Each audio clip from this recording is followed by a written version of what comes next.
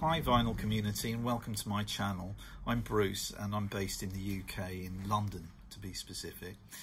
Uh, this is my first post on the vinyl community uh, and I'd like to say a few thank yous before I begin. Uh, this has been done in response to the vinyl tag by Rob Walker uh, and through him, uh, through uh, Melinda Murphy in America, I'd actually follow the thread through to, to Rob's posting. So uh, shout out to them.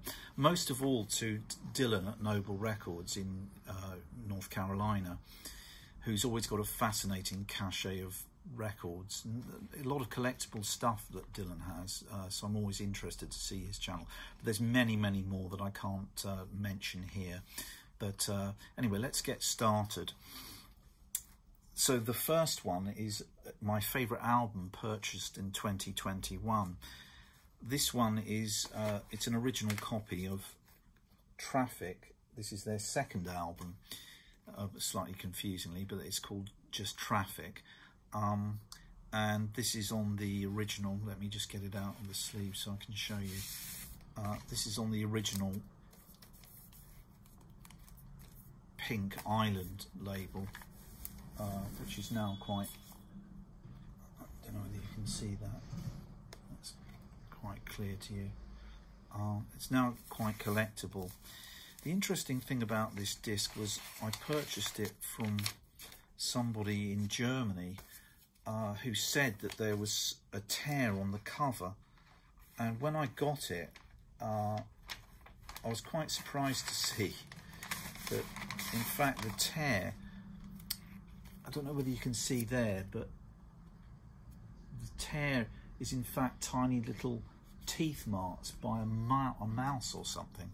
So it's obviously been left in someone's attic for a number of years and then been attacked. But anyway, the vinyl's fine, just a shame about the sleeve. Next one, number two, was uh, an album uh, by the first band you saw live. This is The Stranglers, uh, who I saw in 1980 at the Finsbury Park Rainbow in North London. Uh, I can't remember a lot about the gig, but I do know that their singer and guitar player was actually doing time in prison when the gig was held. So they had lots of guest artists covering for him. But anyway, so that's my uh, number two. Number three is album by a duo. This is a very recent purchase. I got this just the other day. This is the Nancy and Lee album from, I think it's about 1968. It's on the, uh, I hope you can see that, the Reprise Steamboat label. Uh, yeah, it's quite a nice duet. I haven't listened to it more than a couple of times, but I will do. Uh, number four is an album still in the shrink. This one has a story behind it as well.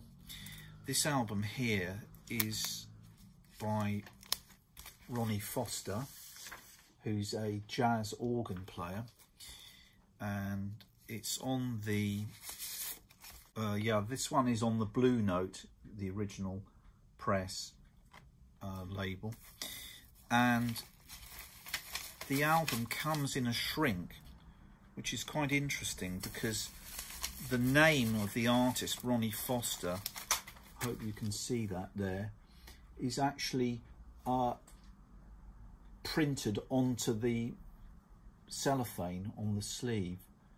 So I normally take shrink wraps off, but in this case, I think I'll leave that one on. Because uh, as I say, that, that name Ronnie Foster is actually on the shrink itself. Okay, number five is uh, a little bit predictable nothing too exciting, but it's a concept album, and I've chosen here Genesis, The Lamb Lies Down on Broadway, which is a double um, on the, this is on the old Charisma label, the uh, Mad Hatter on it. Now coming up is a an album that I'm number six an album I'm yet to play. I've had this for a couple of years. and I really don't know why I haven't played it. It's Canned Heat, Boogie with Canned Heat. I think it's their second album from '68. Uh, again, this is on the original Liberty blue label. Uh, it's the British pressing, that one. Uh, but I just haven't had time to get round to listening to it. Uh, I must do so this year. Perhaps it's one of my New Year resolutions for 2022. The next coming up is an artist that you've discovered in, uh, or I have discovered in 2021. I'd heard of Curtis Amy before. He's a was a jazz saxophonist, um, LA based, and I think he did a lot of work, session work. Even plays on the Doors. Um, Touch Me. Uh, he does the the sax break in that one, but uh, he's here. He's teamed up with Dupree Bolton, who's an excellent trumpet player. And this album, Katanga, I think, was out of press for a long time. Uh, and the Blue Note Tone Poet series, uh, sorry, not Blue Note, it's Pacific Jazz uh, Tone Poet series.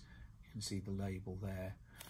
Reissued it for the first time last year, so uh, I was quite intrigued by it. I think I saw it on their website.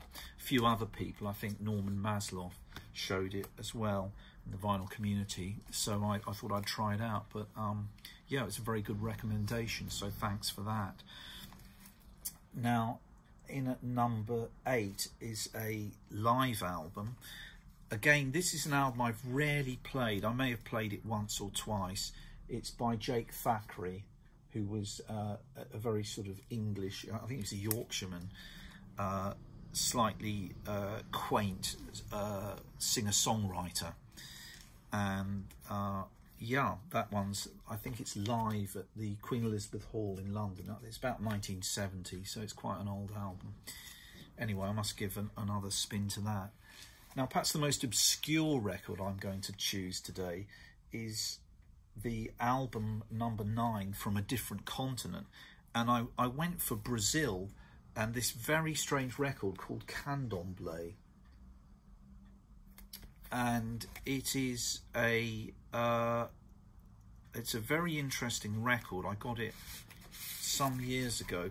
It includes a book inside, uh, and I think Candomblé is something to do with voodoo. There's all these there's all these pictures inside this amazing gatefold. Uh, of a, it looks like an animal, some sort of sacrifice uh, and ceremony where they're dancing. You can see there I mean, this poor chicken, I think it, he's met a, a pretty grisly end. And there's photos inside as well. And it's on a very obscure, let me see, I can't even remember how I access this. Oh yeah, this one's from the middle of the gatefold. It's on this, I can't even pronounce this label. Uh, Editora Shower. Shower. It's a Brazilian um, field recording.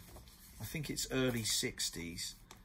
And uh, there's there's no music as such, it's just chanting and the sounds of, of one of these ceremonies that they're performing um,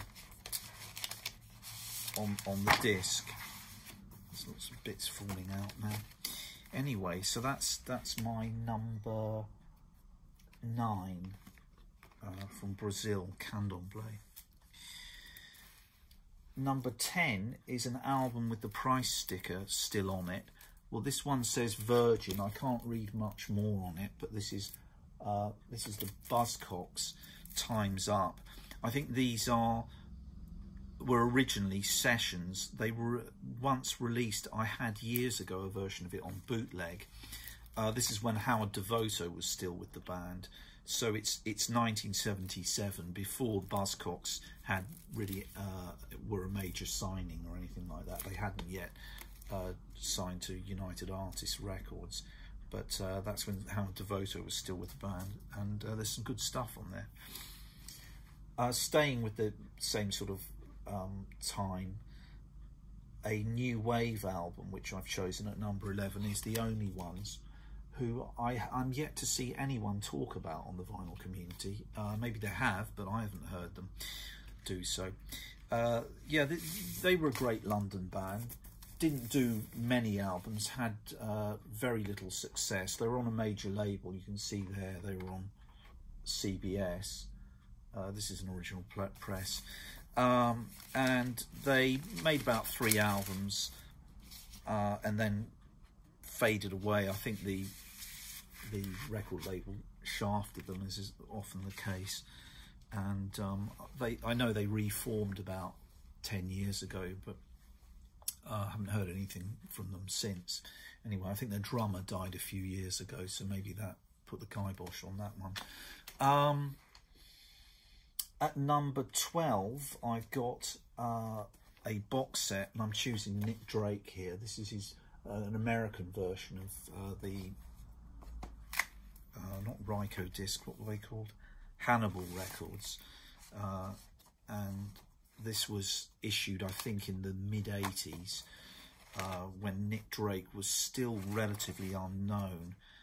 he hadn't yet broken through posthumously as a collectible cult folk singer-songwriter.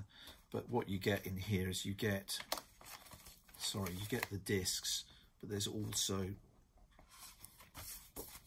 the booklet there giving you a, a brief biography of his uh, quite short life and, and, slightly tragic end. Anyway, so that and there are four albums in there, three albums that were released in his lifetime, and a series of uh, sessions and uh, you know other bits left over um, on the fourth album. Now at number thirteen uh, was uh, an album with a sporting theme. Well, I don't know if the album itself has a sporting theme or even a sporting title, but I've chose Woody Herman's Thundering Herd because it's got this um, American football uh, theme on the cover. You also get it on the on the back cover there. I don't know if you can see, but they're all sort of huddling around him. And this is on the British uh, impression of the fantasy label.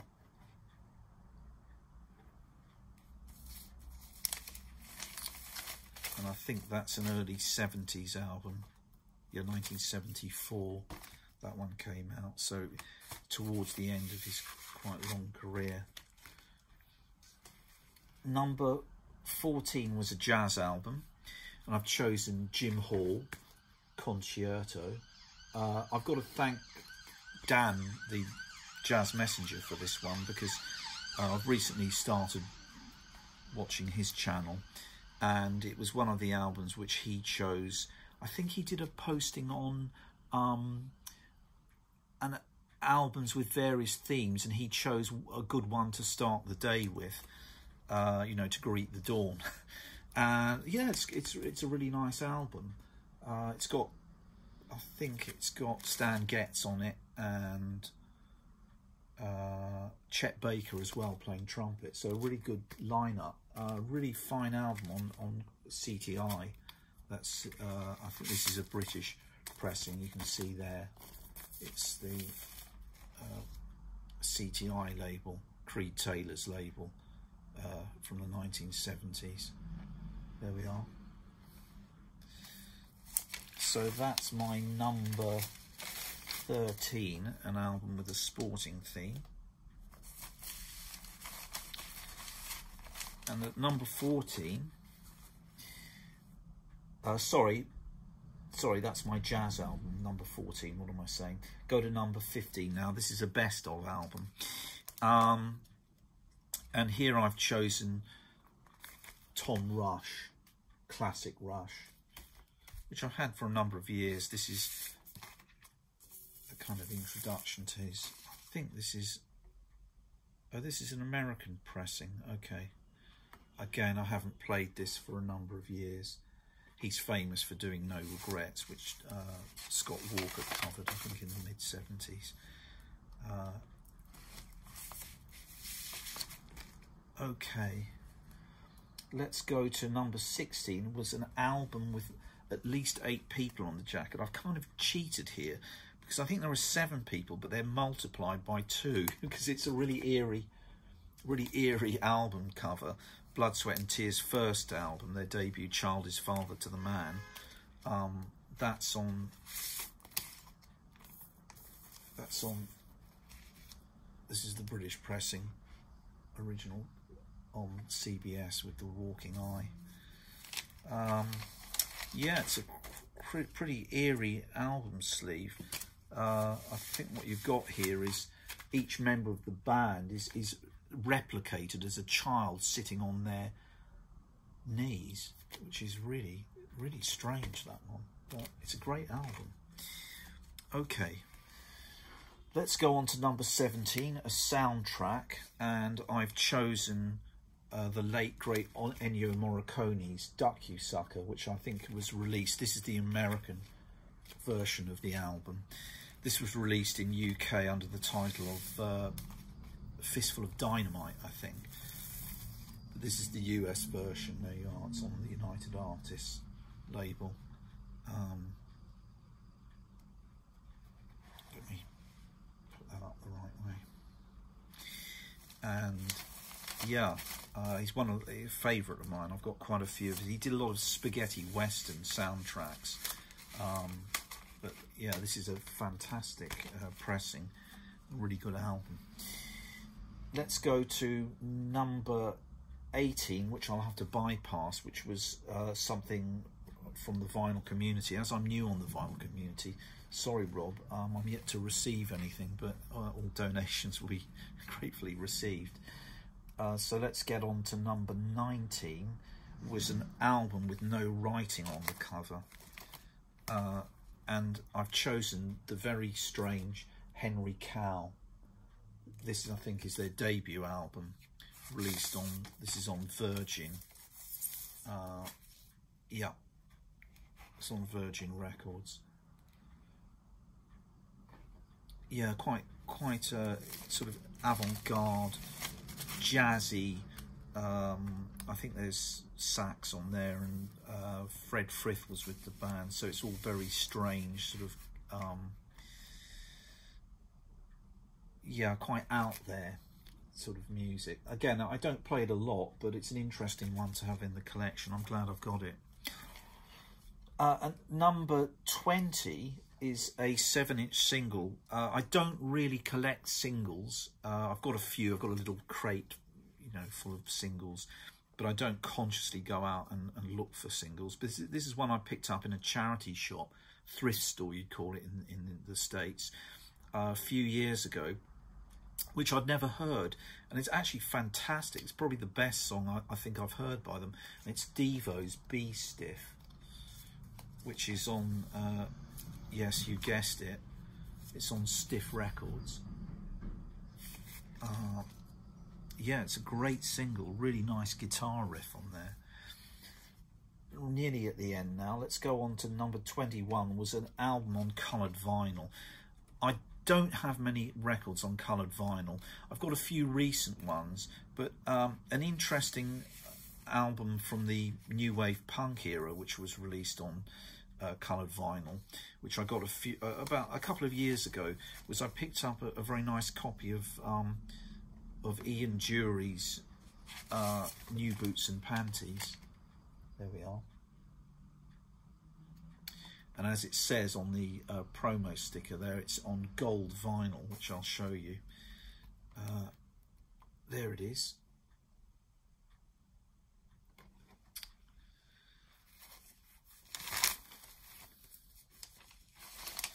so that's number 21 and lastly I don't have a large collection of 80s music at all and an album which doesn't get a lot of love from me uh, these days uh, I've probably played it twice. I've had it for years. It's one of those albums I sometimes forget I've even got it. Is uh, John Martyn, Well Kept Secret and this is indeed from 1982 um, yeah, I can't remember much about it. I think that Ronnie Scott plays sax on one number. Um, but yeah, I, I don't really play that one very much. Anyway, thanks very much. I hope I haven't rambled on too long. Uh, and I hope you found some of these uh, records I've shown interesting. Uh, feel free to leave comments, and I look forward to seeing you again on the vinyl community. Okay, thanks then. Bye.